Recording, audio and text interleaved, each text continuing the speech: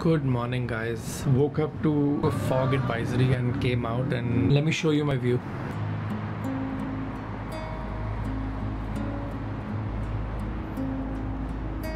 This completely, completely reminds me of this is childhood. We used to get so much fog in uh, in the winter in Delhi. Instantly takes me back. Yeah, there's a lot of memories, a lot of melancholy uh, associated with uh, with fog. Nostalgia is really quite something, you know. It doesn't leave you.